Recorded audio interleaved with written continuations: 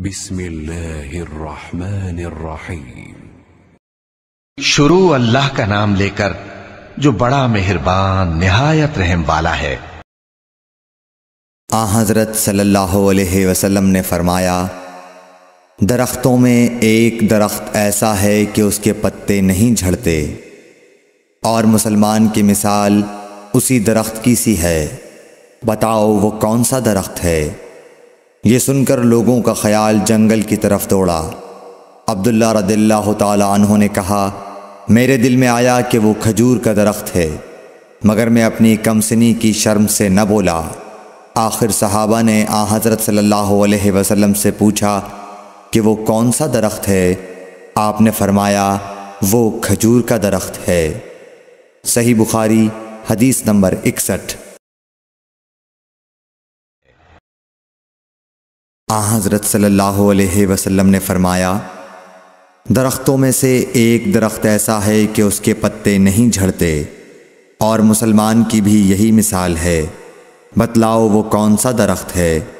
ये सुनकर लोगों के ख्यालात जंगल के दरख्तों में चले गए।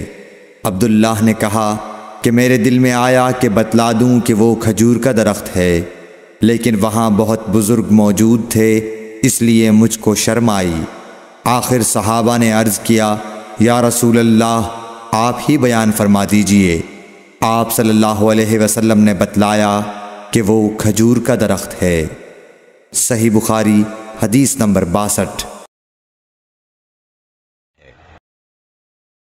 आ हज़रत सल्लल्लाहु अलैहि वसल्लम एक बार मस्जिद में बैठे हुए थे।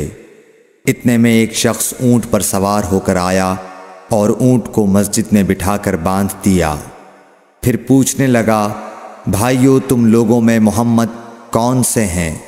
आ हज़रत सल्लल्लाहु अलैहि वसल्लम उस वक्त लोगों में तकिया लगाए बैठे हुए थे। हमने कहा, हज़रत मोहम्मद सल्लल्लाहु अलैहि वसल्लम, ये सफ़ेद रंग वाले बुज़ुर्ग हैं जो तकिया लगाए हुए तशरीफ़ फरमा हैं। तब वो आपसे मुखातिब हुआ, क्या अब्दुल मुत्तलिब के फ़र्जंद? आप सल्लल्लाहु अलैहि वसल्लम ने फरमाया, कहो, मैं आपकी बात सुन रहा हूँ। वो बोला, मैं आपसे कुछ दीनी बातें दरियाफ्त करना चाहता हूँ और ज़रा सख्ती से भी पूछूँगा तो आप अपने दिल में बुरा ना मानिएगा। आप सल्लल्लाहु अलैहि वसल्लम ने फरमाया, नहीं, जो तुम्हारा दिल चाहे पूछो। तब उसने कहा कि मैं आपके रब और अगले लोगों के रब तबारक व ताली की कसम देकर पूछता हूँ क्या आपको अल्लाह ने दुनिया के सब लोगों की तरफ़ रसूल बनाकर भेजा है? आप सल्लल्लाहु अलैहि वसल्लम ने फरमाया हाँ या मेरे अल्लाह। फिर उसने कहा, मैं आपको अल्लाह की कसम देता हूँ। क्या अल्लाह ने आपको रात दिन में पाँच नमाज़ें पढ़ने का हुक्म फरमाया है? आप सल्लल्लाहु अलैहि वसल्लम ने फरमाया हाँ या मेरे अल्लाह। फिर कहने लगा, मैं आपको अल्लाह की कसम देकर पूछता हूँ कि क्या अल्लाह ने आपको ये हुक्म दिया है कि साल भर में इस महीने रमज़ान के रोज़े रखो? आप सल्लल्लाहु अलैहि वसल्लम ने फरमाया हाँ या मेरे अल्लाह।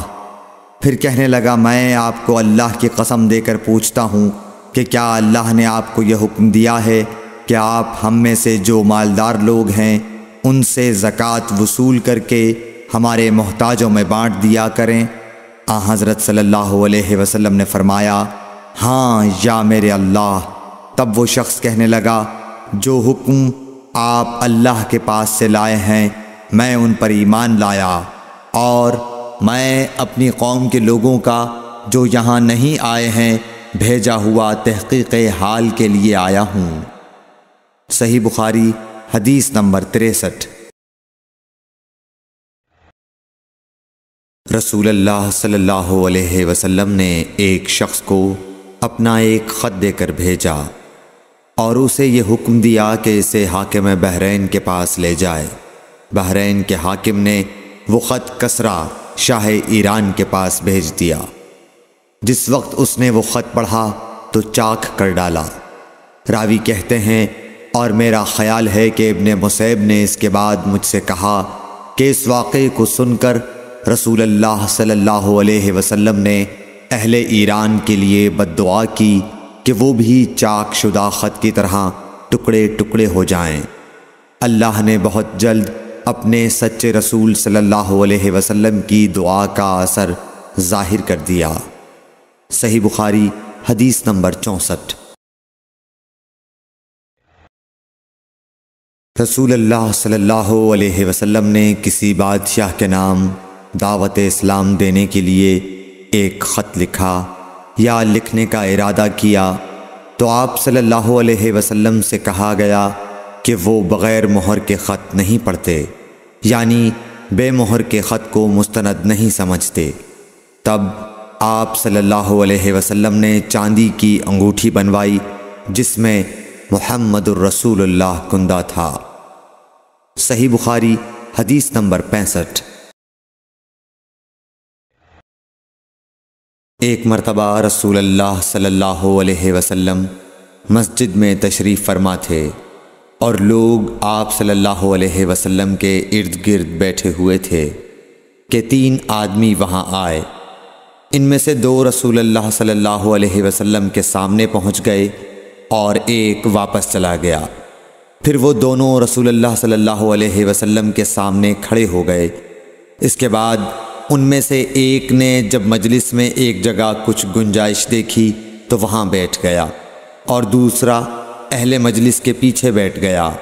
और तीसरा जो था, वो लौट गया। तो जब रसूल अल्लाह सल्लल्लाहु अलैहि वसल्लम अपनी गुफ्तगु से फारिग हुए तो सहाबा रदल्लाह अनहुम से फरमाया, क्या तुम्हें तीन आदमियों के बारे में न बताऊँ? तो सुनो, उनमें से एक ने अल्लाह से पनाह चाही अल्लाह ने उसे पनाह दी और दूसरे को शर्म आई तो अल्लाह भी उससे शर्माया कि उसे भी बख्श दिया। और तीसरे शख्स ने मुँह मोड़ा, अल्लाह ने भी उससे मुँह मोड़ लिया। सही बुखारी, हदीस नंबर छियासठ। रसूल अल्लाह सल्लल्लाहु अलैहि वसल्लम अपने ऊँट पर बैठे हुए थे और एक शख्स ने उसकी नकील थाम रखी थी। आप सल्लल्लाहु अलैहि वसल्लम ने पूछा, आज ये कौन सा दिन है? हम खामोश रहे हती कि हम समझे कि आज के दिन का आप कोई दूसरा नाम इसके नाम के अलावा तजवीज़ फरमाएँगे। फिर आप सल्लल्लाहु अलैहि वसल्लम ने फरमाया, क्या आज क़ुरबानी का दिन नहीं है? हमने अर्ज़ किया, बेशक। इसके बाद आप सल्लल्लाहु अलैहि वसल्लम ने फरमाया, ये कौन सा महीना है? हम इस पर भी खामोश रहे और यही समझे कि इस महीने का भी आप इसके नाम के अलावा कोई दूसरा नाम तजवीज़ फरमाएँगे। फिर आप सल्लल्लाहु अलैहि वसल्लम ने फरमाया, क्या ये जुल्हज का महीना नहीं है? हमने अर्ज़ किया, बेशक। आप सल्लल्लाहु अलैहि वसल्लम ने फरमाया तो यकीनन तुम्हारी जाने और तुम्हारे माल और तुम्हारी आबरू, तुम्हारे दरमियान इसी तरह हराम हैं जिस तरह आज के दिन की हुरमत तुम्हारे इस महीने और इस शहर में है।